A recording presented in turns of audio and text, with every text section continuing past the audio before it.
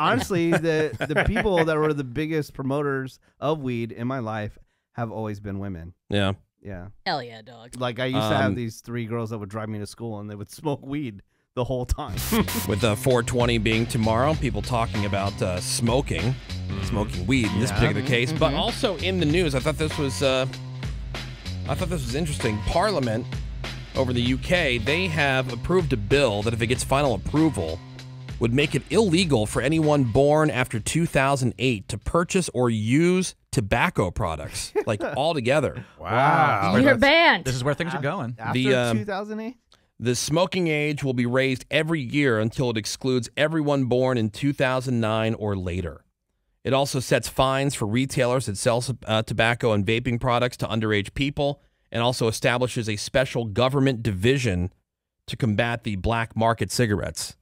Wow. that so is they're, they're trying to get rid of smoking altogether. I was on a college campus recently, and they yeah, so there were signs everywhere. This is a completely tobacco-free campus. Interesting. When I summered in Cambridge for summer school, and I asked the HA, the housing advisor, if you're allowed to smoke in the campus housing, he said, "Allowed to? You're encouraged to." it was so- Everybody smoked. Yeah. Not Yeah. just classy, but also cool, you know? Yeah. like everybody, you'd be in class, people are Right. smoking. Yeah, did you have that little stick thing, Greg? And your cigarette was at the end of it, like a little flute. I wish I never had one of those. Uh, a couple things on the 420 thing. Uh, first of all, we have Menace doing a higher education where Menace got baked yes. and did an interview with somebody, and we're going to learn all about dream interpretation, which I know Sammy was very excited about. I'm Yeah. so excited. I can't wait to hear about it. Yeah. Um, and then the other 420 thing, uh, one little stat that I'd, I'd seen is that, you know, going to sm- uh, cigarette smoking, people are way more shy about admitting that they smoke cigarettes at this point than they do Oh, weed. absolutely. Yeah. Yeah. It the, the stats they had. pariah if you Yeah. smoke. Yeah, they, they broke down like so many of these different stats, and yeah, people are way more closeted about their Yeah. tobacco Shameful. smoking than they are for sure. that they that they smoke weed. So that's a big difference from how. For you're the, sure. You're the How- how it dregs used of to be. society if you have Yeah. a cigarette. right. It's 'Cause not what's cool. it even do? Does nothing. Right, but I mean, there's still a stigma attached to weed, depending on what generation you're from. That's true. you know. Yeah, I mean, it's definitely you know, there's a difference in the generations, but also there's there are still people, no matter you know age group, that still feel a certain way about it. I I, I keep running into people every once in a while, Yeah. like eh. The old Like- timers. Oh, right, exactly. They all came out of the woodwork, by the way, when we were doing that event with Cypress Hill, and I said that you know Cypress Hill smoked me out. You, I can't believe how many people like sent me something saying like, I can't believe that you're in this, you know, still promoting. oh yeah. Oh yeah, Drugs. drugs, gateway. And by the uh, that's I know I know it's a common term in the weed folks uh, community is smoke me out, but it sounds gay. Sounds Smoke me gay. It sounds gay. Smoked me out. Hey Greg, I'm gonna go smoke you out. Smoke me out. What does Yeah. that Like like? gay. I never thought about that. I mean, it is very phallic. It sounds It gay. involves. Or it sounds sexual, I should say. Yeah. Suck off sounds, you know, They Right. smoked me out. Yeah. but like I'm gonna smoke, smoke you out. Uh, Ooh. I don't, I'm not really picking up gay on that. Are you? I, I- at I least never sexual. thought of Well, it. man on man, Uh, but like I'm Yeah. gonna smoke you out. Right? Yeah, I mean, like man I- on like, man. that sounds more like I killed somebody. I smoked them. Smoked me out. Nah. But if you're saying it like a, like in a positive way, I'm gonna go smoke you out. Like, ooh, really? All Yeah, right. I- like, oh, awesome. To To be be Yeah. I don't my mind friends and I, putting we never, sexual connotation. we never on said it. that to each other, but I'd have women that have said that to me. Yeah. See. So maybe that's more hetero. Have you? Yeah, Maybe it I is have. hetero. Was that a dream? Was that part of the dream interpretation? No, I, Oh. I honestly the the people that were the biggest promoters of weed in my life have always been women. Yeah. Yeah. Hell yeah, dog. Like I used to have Um, these three girls that would drive me to school and they would smoke weed the whole time. Well, we're going to learn about dream interpretation Oh, with boy. Menace's Yes. higher education. Menace got uh, stoned, Yeah. and uh, I started talking to this dream interpreter. Uh, she wasn't a fan of me, but I really enjoyed I really enjoyed talking to Well, her. she's very serious. yeah, Okay. yeah. Dennis Yeah. is stoned out of his gourd. Uh, did she Maybe- know you were stoned? Ravey, weren't you watching uh, Fallout? Yeah, and I it love like uh, Fallout. it somehow ended up in your dream. Well, here's the thing. Fallout is a really violent show. Yeah. A lot of um watching through you like your fingers and stuff. But I have found that the more violent a show, the earlier I have to watch it. Like I can't watch it right up against bed. bedtime. Like The Walking Dead was that way when I was watching it. And because all of a sudden in my dreams I am running from zombies. Okay. And so, like the whatever your, I do your dreams are last influenced by. directly Mhm. influences what I'm going to dream about. God, I wish that so was the I'm case. I really careful That'd be about so it. cool. Like, I pick your dream. Fallout was not a show I could watch right before bed. Is that why you watch porn before bed now? I watch Right, porn yeah, right before Yeah. bed, so that follows me into my dreams. nice. Yeah. And you know, I do a lot of you know smoking out, Yeah. you know, porn style. Sure. Oh yeah, I get high and watch Right. porn. nice. you dream of smoking people out. Right, Yeah. exactly. Well, we got uh, Menace, Yeah. who got super high. What was it, edibles or Uh, just yeah, smoke? so I met Cheech and Chong, and they gave me some of their edibles that they had. I, I had a couple of those. Your it says only take one, but I had two, Mhm. and then because I have a high tolerance, and as do, as I was doing the interview, you know, I love those Pabst, uh, Pabst. the seltzers, Oh, yeah. Yes, seltzers, seltzers are yes. so good. So they have uh, their own weed company called Pabst Labs, where they make these different seltzers, and so I was enjoying that as well while doing this interview. Cheech and Chong was on with uh, Bert Kreischer Mhm. on his uh, Something's Burning Yeah. that he does, and it was asked like, our Cheech and Chong were asked, who's the most random person that you've gotten high with? And they said Wally from Leave It to Beaver. Oh no! wow. I thought that was, that was pretty funny. Hilarious. Oh. They said the number one person they want to smoke with, or who should be on the Mount Rushmore Yeah. of uh, weed smokers, should be Paul McCartney. Yeah? part- Oh. yeah, he got Hmm. arrested in Japan. Huh. That, sh- that shout well, there's your Japan. mention of Japan. Nice. Boom. Got that. for weed smoking. Sweet. Yeah. But yeah, this lady, uh, the dream interpreter, um, Interpreter. interpreter, Hey, She's a uh, she's an expert in dream interpretation, yeah, and uh, Menace did an interview with her. He was, as you, you know, just heard all the different things he was doing. Is super high, and he's talking to her, and we're gonna learn all about dream interpretation. and may I say, I loved, loved, loved talking to her. Did she love talking to me?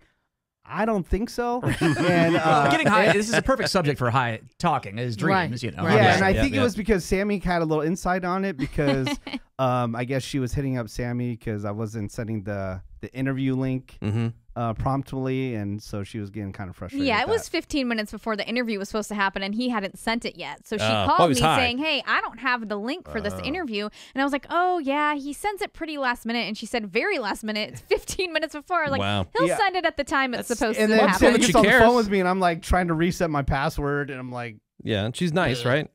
yeah, No, Sounds like she kinda- cares. she didn't. She didn't like. Like. I, I do interviews all the time, and it, that's that's common because they you know to just Yeah, I'll send you the link once. why the, do you Yeah. need it that early? well, she All right, to be she wants to be prepared. on top of stuff. She wants to be prepared. Nothing wrong with that. Well, so she she gets on with Menace. She goes through about a three and a half minute background on her, Okay. and then Menace Mm. has a question for her. All right. I have so many questions just off the intro alone on your background. uh, I need to uh, figure figure this out where I'm even going to start. Uh, Well, I I'm mean, I gonna- guess I'll, I'll I'll make bounce- it easy for you. Okay. Do you want me to Oh, tell you uh, the six points of entry? No, no, no. Real quick, can we? Can I? Can I ask you a couple questions first, and then we'll get into the. Yeah, six yeah. points of Go for it. Go for Um, it. Man, where do I even start? Okay, so She said, "Well, here's a place to start. The six And points of like, entry. No, no, no, no, no, no, no. no, no, no. I got this. And then where do I start? because I didn't want her to go into a long spiel about the six points of entry without being able to ask a question. Yeah, Uh-huh. she, so she has six different ways you can look at your dreams, which is very Okay. them. All right. fascinating, by the way. So All she and then uh, but he's like, no, man." It's like, ah, I got something. Oh, you know what? I I I have I can talk about my friend Woody's dreams. Oh, okay. I got right. some really violent dreams. yeah. Woody the Woody Show. He says that every single dream he has is violent. Do you have anything to say about that? We lie, we deny, we avoid, and we sweep.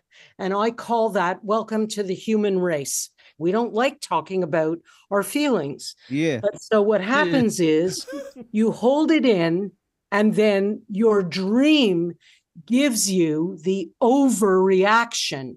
And that's the violent nightmare. So It's you're that- implying that he wants to do violence? no, he wants Oh. to ah. say something small like, gee, what you said to me yesterday really aggravated me. Yeah. But Really? he's not saying that. Yep. Hmm. Stop hmm. holding it in, Woody. Yeah, Yeah, I gotta you're learn not to hold little it in. Yeah. Oh, I should really, I should really speak hmm. up more. You should. Yeah. Yeah. Yeah, And by the way, not all my dreams are violent. I do have a good amount of violent dreams. Some of them are just straight weird. I mean, apparently it's because you're a little wiener and you won't speak your mind. Right. Yeah. Yeah. Right. Right. All right. So this is uh, Menace. He's super high on edibles from uh, Cheech and Chong and some PBR weed seltzer. Yeah. And he's talking to this dream interpreter. And why not, you know, talk about drugs? oh, Why not? perfect. I uh I want to ask you about I've been hearing a lot of people getting into ayahuasca. It's big with celebrities, right?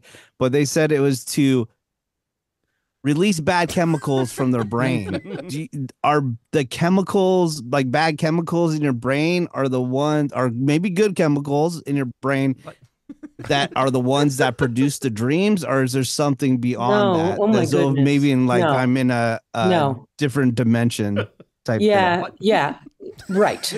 This is, let Right. me tell you what I do. I am much more an expert in the language of metaphor than I even am a dream analyst. Mm.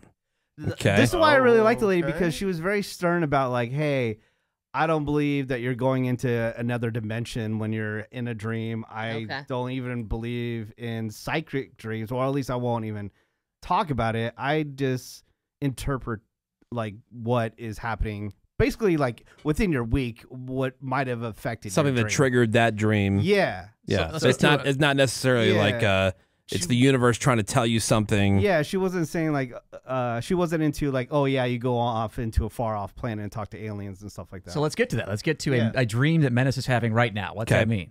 As he's super high. I want to know though. Um, you had a, a social media post about celebrities, about dreaming about celebrities. Which celebrity did you It dream? is because of the news. I keep on dreaming about OJ. OJ, Okay, I love it. James Sis- Simpson, What comes to mind about him? football, the white Bronco, and not guilty. White Bronco Let me write this down. and not guilty. Yeah, And how did you feel in that dream? Horny. I feel like there's so many unanswered questions. What do you think might be going on in your life this week that makes you feel you're not sure about what's going to happen? Is where the food at? what the hell? She's like, What? Huh? Huh? Well, I That's- think That's what's going on in my week. Where the food at? you know, like what's going on is that OJ died. Well, yeah. And you know, I'm thinking about OJ. You And know, she's trying all- to tie it into you. Yeah. Orenthal James. No, but so what she when she was explaining the dream, she was saying like this random stuff of me talking about uh, thinking about OJ Yeah. is triggered by something else. It's not Okay. really about OJ.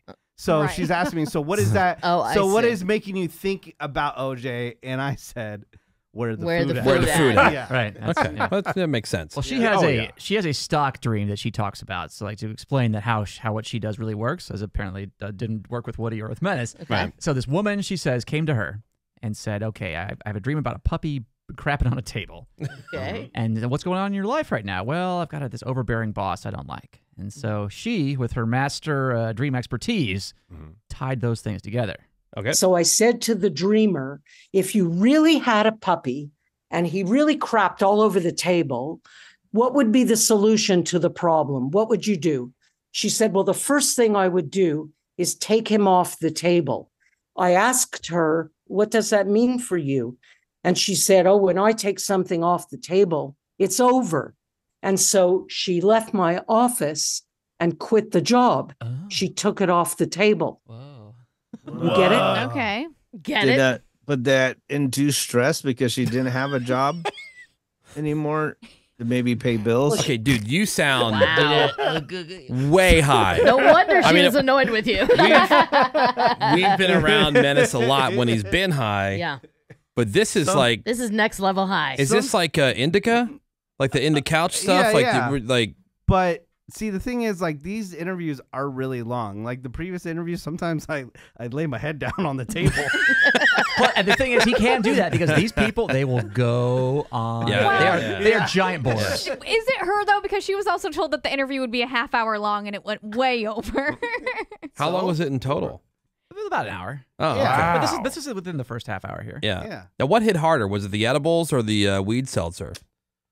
The Uh, Cheech and Chong edibles or the weed seltzer? The I can't tell. I'm PBR? taking them all at the same time. Yeah. so. Who knows? Hard, yeah, cocktail. yeah, hard to know. All right, so Menace's higher education. He's super high.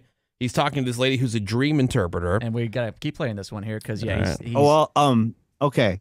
uh, Uh, we go Wait. back to that previous clip. We we paused it in the middle Oh, we did. Okay. because Menace was okay. saying, "Well, Oh, well, yeah, well, yeah, if yeah, she yeah, quits her job, Oh, yeah. she Right, quit her right. job." Did that induce stress because she didn't have a job anymore to maybe pay bills? Well, she didn't want to be with an abusive boss, and Yeah. that was her priority. But they might say never yeah, quit a job until you got another job. You know what I'm saying? I see what's going on here. Hmm. It's took me a while. What? Maybe it actually didn't take me that long, but Hmm. Okay. Hello. So she Um, thinks she's what- getting this. The Menace isn't taking this seriously. So yeah. Oh. I see what's going on I see here. what's Right. going Yeah. She has ferreted him out. And that wasn't that he wasn't being that rude there. He was just No. he was kind of like Just trying to. Yeah. he was repeating what Woody always says: "Don't quit a job unless you have another Have a job." job, right? Right. Which is and I legit enjoyed talking to her Yeah. too. She just couldn't tell. Yeah, I see what's going on here. You radio people. Yeah, I wasn't. Oh, I wasn't. So being now does she professional. think she's being punked for like the rest of the way? Well, then Menace brings her back because you know what what people talk about with dreams is songs. You, you dream, song, song, Mm-hmm. dreams. Yeah. Mhm. And Menace has a little fun with that, and I think he he brings her back. Brings her back. fold. Okay. Yeah. Well, um, okay.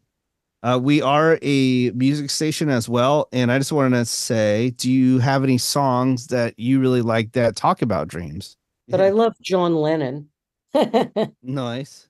Now, uh, would you play the the karaoke with me if I did two songs to see if you can figure out Play who the they are? sure, why not? Okay. All right. I'm gonna sing the song, and you tell me who who who it is. Okay. Here we go. Dream lover, come rescue me. Take me up, take me down, take me anywhere you want to, baby. I'm looking in the man in the mirror. Wait. I'm Yeah, asking him to change his Michael ways. Jack. It's Michael Jackson, the man. in Nice. Got it. Yeah, All but, then- right. but you started One with Mariah you. Carey. And, he, Started- and I didn't cut that. He went directly from Mariah Carey into Michael Jackson.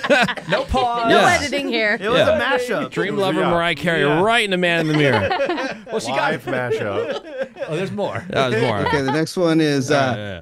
all right. I, it's dream on, dream on, dream on.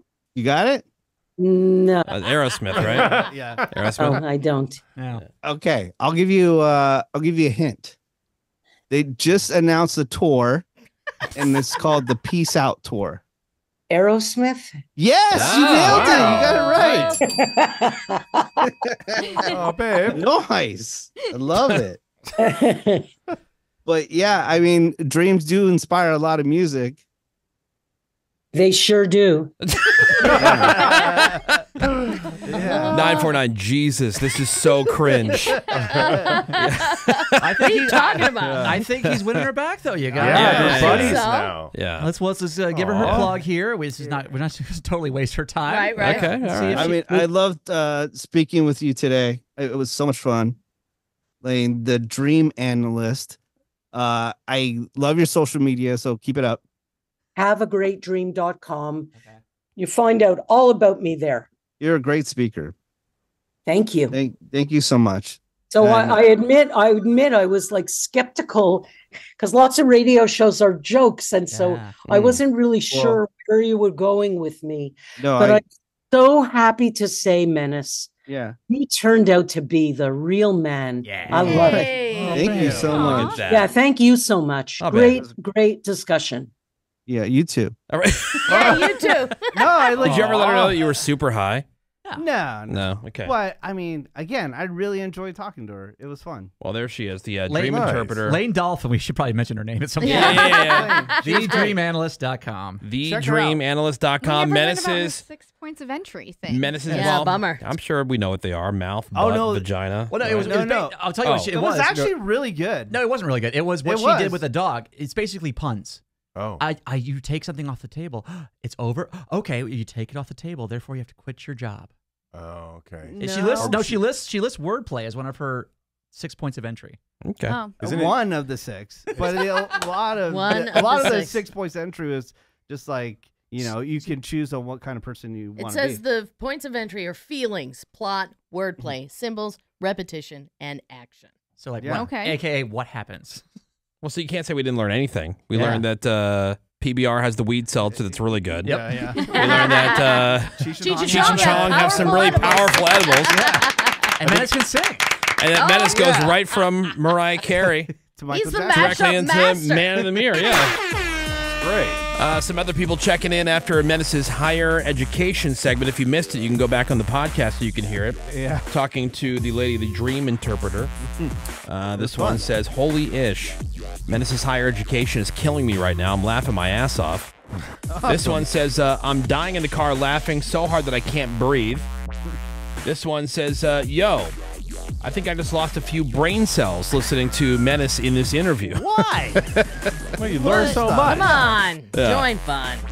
join education. Yeah. Yeah, join learning. Oh, well, this person uh, didn't want the person in their car doing any learning from this show. That's for sure. Left a message on the after hours voicemail. Oh, yeah. Oh no. 877 44 Woody. This is 877 44 Woody. We can leave your uh, messages anytime after 10 a.m. each day until the Woody Show hits the air the next day. Here's uh, this woman. Hello, Woody Show. I am calling about a game you guys played on your show, specifically the one called Weed Strain or Porno Name.